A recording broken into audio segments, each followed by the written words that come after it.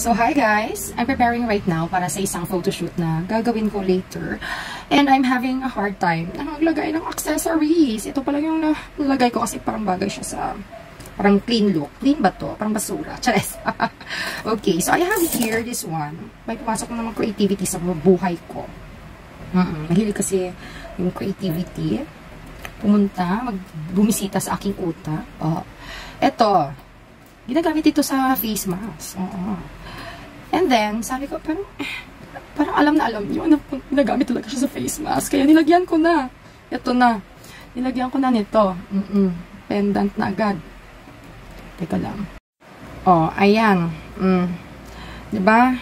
Parang, ano na siya, parang necklace na siya. Pero sabi ko, it's simple. Lagyan pa rin natin ito. Earrings to. Lalagay ko dito. Wait. Oh, ayan. Mm.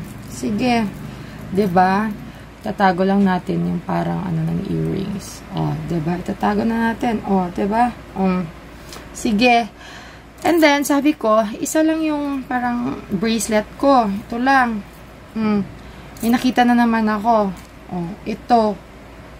Earrings din. Kasha sa kamay ko. Of course, kasha. Oh, kakasya natin 'yan.